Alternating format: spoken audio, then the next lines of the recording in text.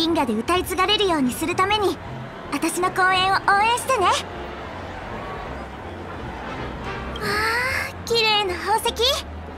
でもこんなに素敵なプレゼントどうして見ず知らずの私なんかにくれるの？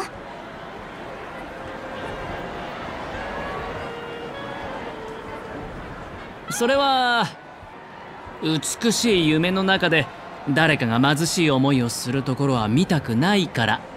かな？あなた優しいのね。そういうことなら受け取っておくわ。ありがとう。初めましてのお兄さん。今度時間があったら私の歌を聴きに来てね。うんきっと行くよ。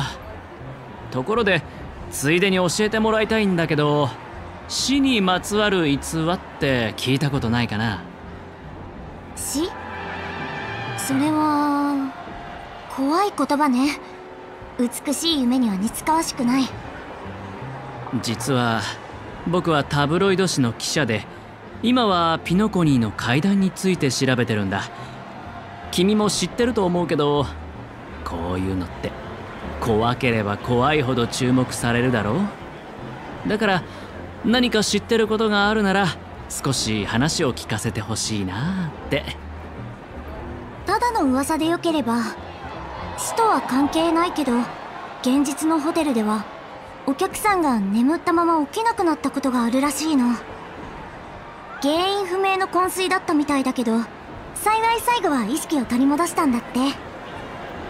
それはそうよね。だってファミリーがお客さんを守ってるんだから。ありがとう。今の話で十分だよ。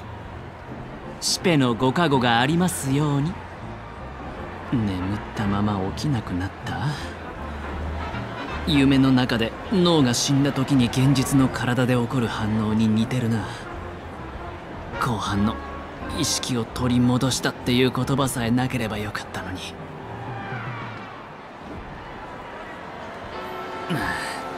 頭の中に何かあるような感じがする調和の影響が出始めてるのか？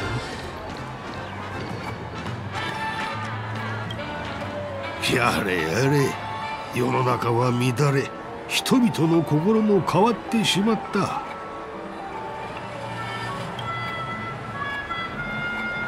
お前さんは。ああ分かったぞ。これは何かのいたずら番組だな。きっと向こうの建物にカメラを仕掛け自分の善行を撮影しているんだろう。お前さんたち若者は朝から晩まで木をてらうことばかり考えている。それではダメだ。本当に面白いシーンとは心で作り出すものなのだから。面白いシーンならもうすぐ始まるよおじいさん。でもその前に少し聞きたいことがあるんだ。この夢ではどこで死を見つけられるか知ってるかい？これはこれは。また死を恐れない若者か。忠告しておくが自分の考えが進んでいるとは思わないことだ。死。そんなテーマはとっくに廃れている。ドクター・エドワードのところで買ったことがあるがなんというか。一点限りの高級な匿名寄付品だという割にはくだらない。ただのおふざけばかりだった。ひどい出来で目がたくさんある怪物に腹を刺されるところから始まりその後は高層ビルや明かりがぼんやりと見える以外ただ世界がぐるぐる回っているだけで思わず吐くかと思ったぞ。それだけ？他に何があるというんだ？ピノコニーの映画産業の実力には期待しない方がいい。あいつらはそういう作品を前衛芸術と呼んでるんだぞ。笑えるだろう。そうだね。邪魔してごめん。いい一日よ目がたくさんある怪物。あの記憶行きミームに似てるけど高層ビルと明かりは死には何の関係もなさそうだ。多分噂で作り上げられた夢の泡だろうな。頭の中の声が強くなってる。だんだん近づいてるみたいだな。安全にはご注意ください。何か危険なことがありましたらハウンドがいつでも力になります。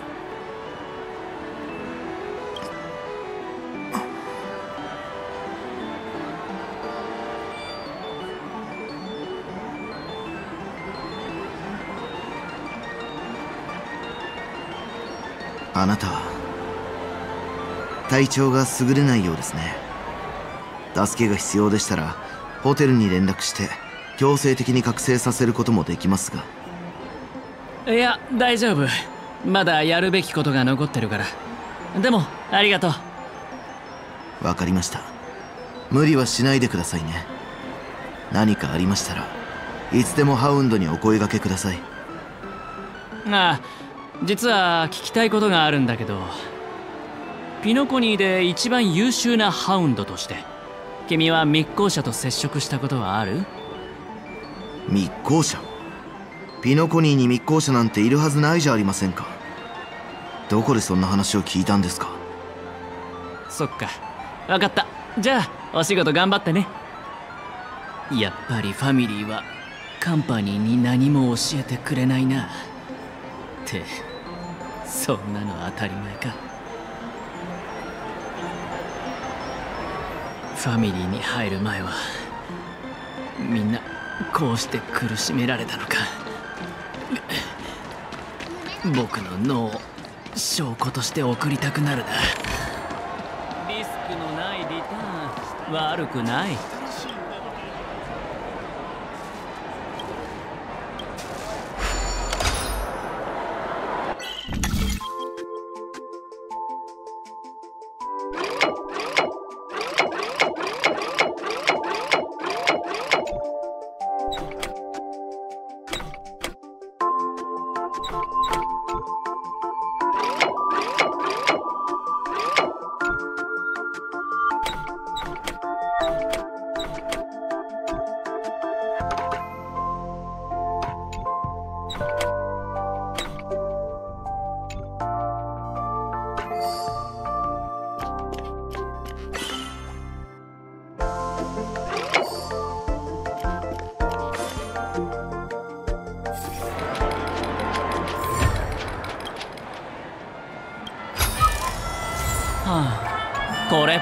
じゃ入場できないよ。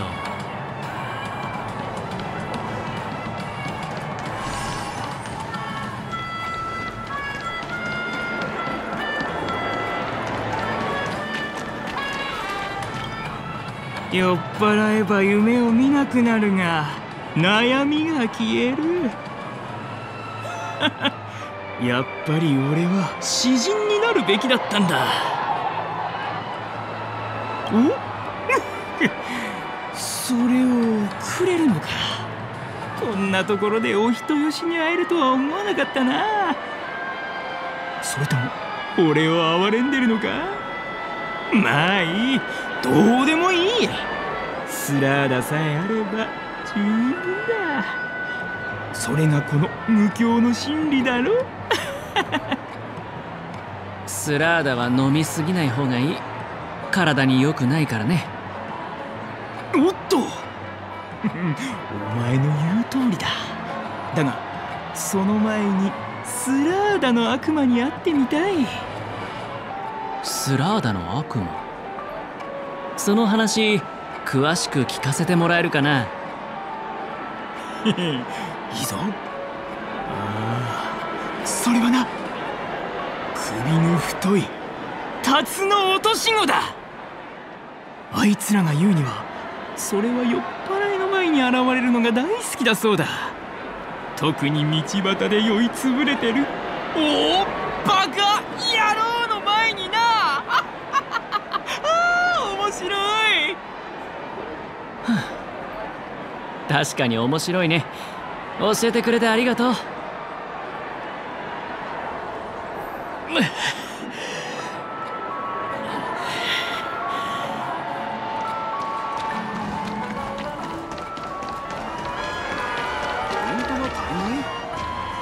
ージすればいいんだい。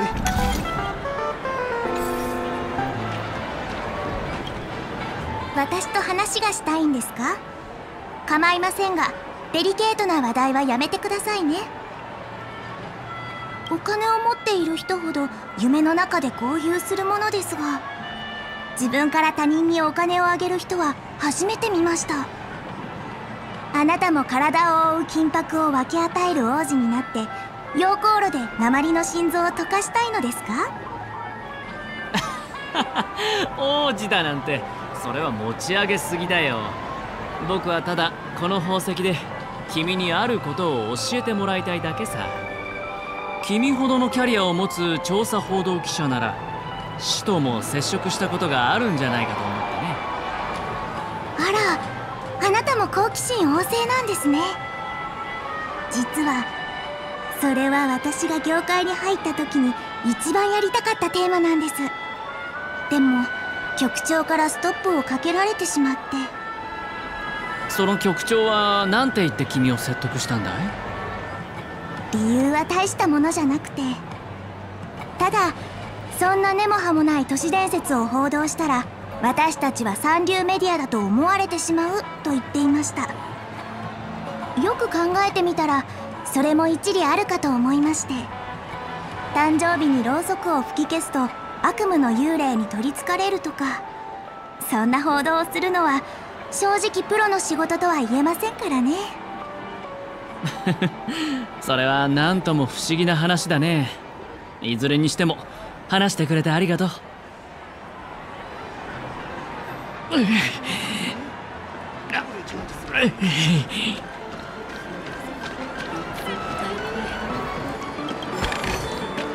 リスクのないリターン悪くない。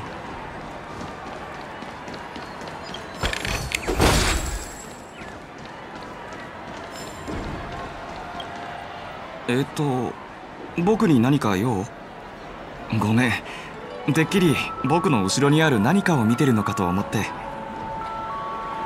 これは僕へのプレゼント？何かの間違いじゃないか？大した金額でもない。ささやかなものだけど受け取ってくれると嬉しいな。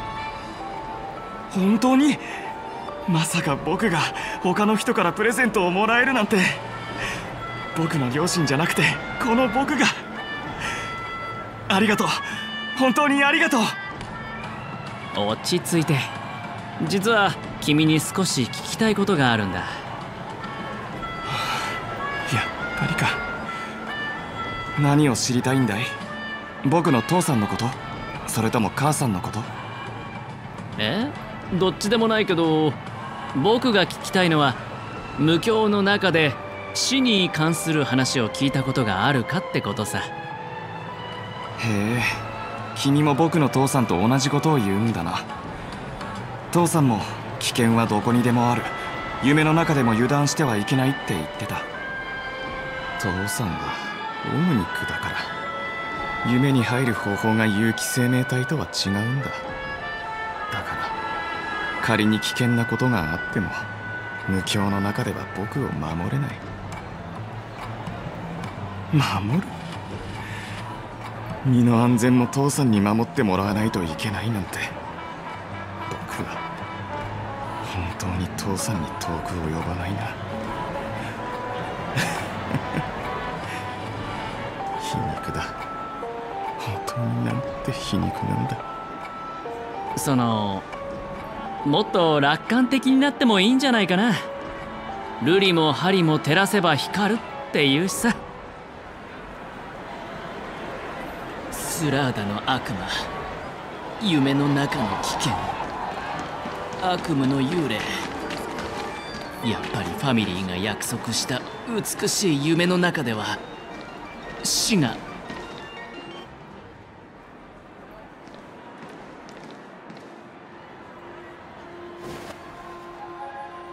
花火が言ったことを覚えてる？君たちツガンニア人はマンホールの中にいるのがお似合いだって。あちこちこそこそ嗅ぎ回ってるみたいだけど。そんなに死の匂いが魅力的なの？クジャクちゃん。君か。ロビンが死んだ後テレビに現れた代役は君だってことにもっと早く気づくべきだったよ。仮面の愚者。君ファミリーに呪いをかけられたんでしょ？はああんなあからさまなヒントをあげたのにな口の聞けない人を仲間にしてみたらってこんな簡単な言葉なのに。その結果はどう？君は失敗したどころか自分を犠牲にすることになった。確かに口の聞けない人を仲間にするようにとは言ったけど君自身が率先して口の聞けない人になれなんて言ってないのに。ほんと。人の親切を無駄にするんだから。どういう意味だい？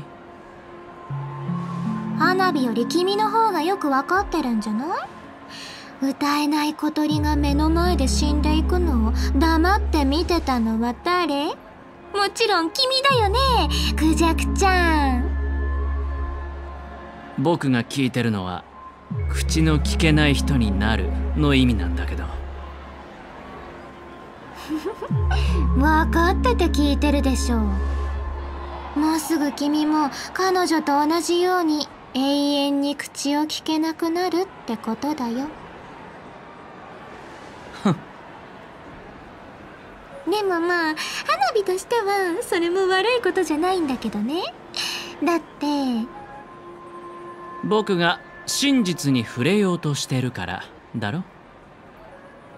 ふんグッシャ僕がこんなチャチなバッグを持って街中で安っぽい宝石を配ってたのは何でだと思う？全部君に見せるためさ。僕がうろたえればうろたえるほど君を釣れる可能性が上がる。ずっと君を待ってたんだ。こんなに頑張ったんだからご褒美として答えを教えてくれてもいいんじゃないか？なんで花火が君を助けないといけないの？君はピノコニーを大混乱に陥らせたいんだろ僕にはそれができる。ただ一つだけ確かめたいことがあるんだ。あの時君が僕に言った。口を聞けない人っていうのは本当にロビンのことだったのか？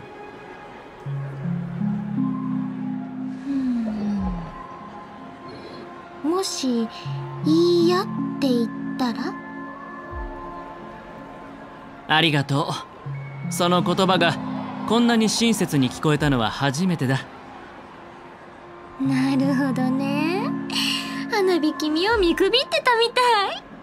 でもそれがどうしたっていうの？教えてあげる口の聞けない人って定義に当てはまる人はもともと2人いたの。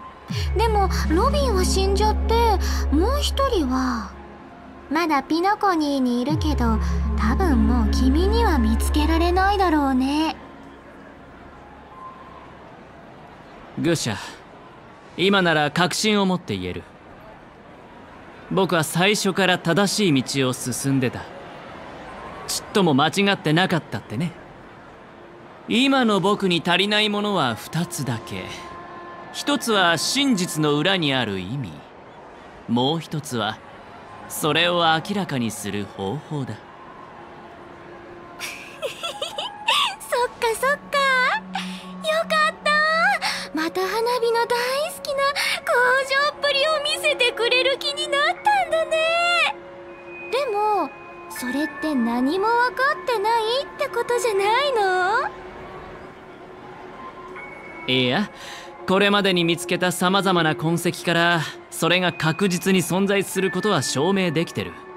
それで十分だ。今挙げた2つの問題の答えについては17あいや16システム時間あれば全てを明らかにできるだろう。16システム時間？本当に足りるの？それならもう少し君を焚きつけてあげようかな。はいこれあげる。これは花火のコレクションの相互保証破滅ボタン。花火も同じのを持ってるんだ。花火か君のどっちかがこれを押せばもう一人はすぐにピノコニーもろとも爆発するの。もし君が本当にカンパニーをピノコニーに引き入れたくて我慢できなくなったらゲームテーブルそのものをひっくり返すのも一つの手だよ。最初っからやり直せばいいんだから。カンパニーってそういうの得意でしょ？だからどうしようもなくなった時はそれを押して。もちろん花火に連絡してくれてもいいけどね。花火の最後の気遣いだと思って。そんなに危険なのか。ファミリーは君の言葉を真に受けなかったんだね。そうじゃなければ君がこれを持ち込むこともなかっただろう。君は花火にはそれができるってことだけ知ってればいいの。残念だけど君の提案は断らせてもらう君のおもちゃが本当に役に立つかどうかわからないし僕は君の言う口の聞けない友人を探しに行くつもりもないからね。まあその人がまだピノコニーにいるって聞けたのは嬉しかったけど。後のことは自分でどうにかする。ファミリーの崩壊を祝うためのショーを用意するんだ。クライマックスでは高い壁が崩れ落ち人々が目覚め口の聞けない人も再び声を発することになる。その時が来たらボタンを押して盛大な花火で盛り上げてくれ。それじゃあまたねグシャこの後に及んでまだそんな大口を叩けるなんて。でも約束だよ。絶対花火をがっかりさせないでよね。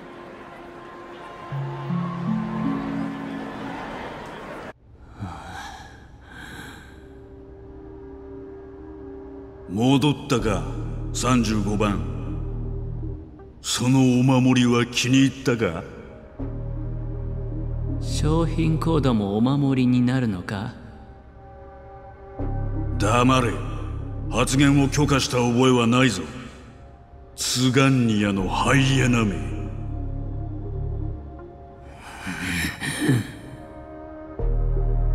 あの黒いスーツの連中は多くを語らなかったからな。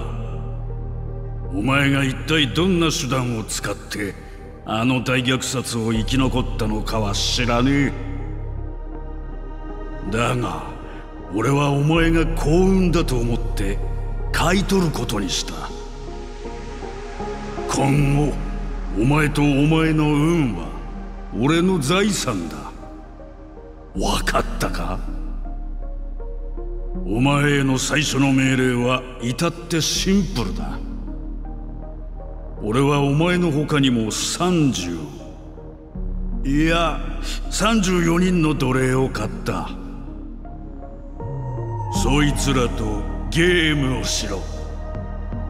2日間生き延びることができればお前の力が本物だという証明になる。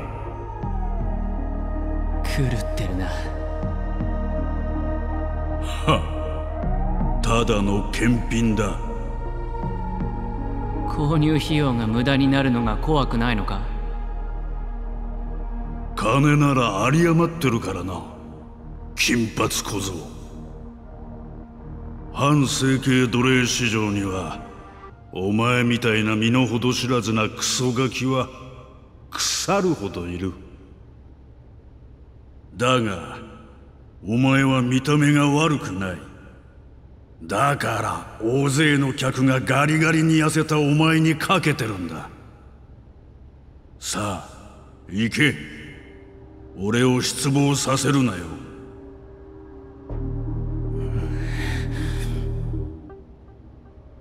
いくら使った？あなんだって？僕の価格さ。一体いくらで僕を買ったんだ？知りたいか？ええだろう。知りたいなら教えてやる。六十多眼馬だ。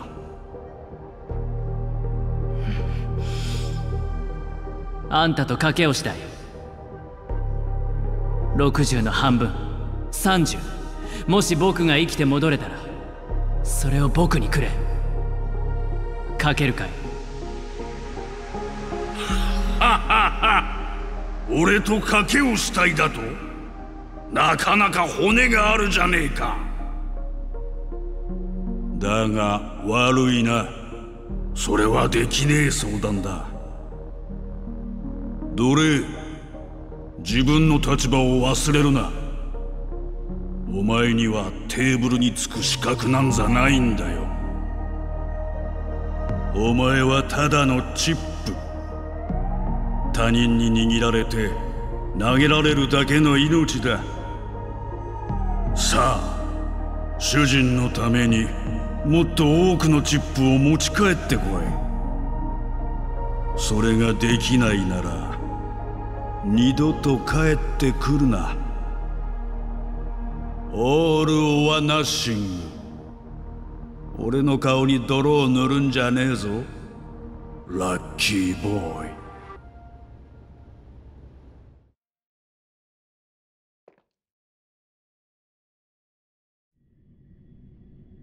ギャラがあんたが来るなんて珍しいね。ちょっと友人が訪ねてきてな。今少し時間あるかシボン私なら一日中暇してたよ。いらっしゃい。ようこそバーナイトメアへ。メニューには何でも載ってるけどスラーダはないんだ。ここではあんなつまらない飲み物なんか置かない。あとバーの中にあるものはどれも売り物じゃないの。ここで買えるのは喜びだけ。お客さんの心からの笑顔しか見たくないからね。何が飲みたい？すぐに用意するよ。見てかっこいいお姉さん。セーバルと同じタイプだ。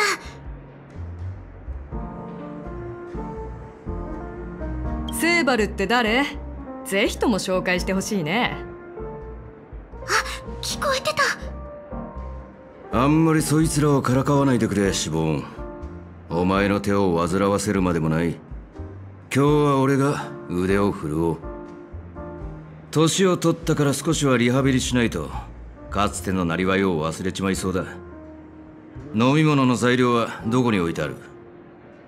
それなら全部カウンターの下にあるよ。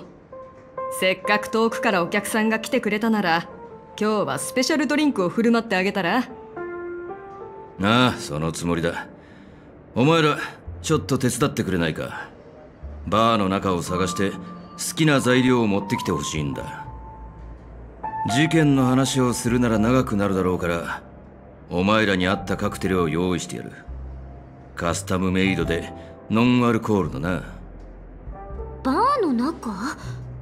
使える材料は全部カウンターにあるんじゃないの？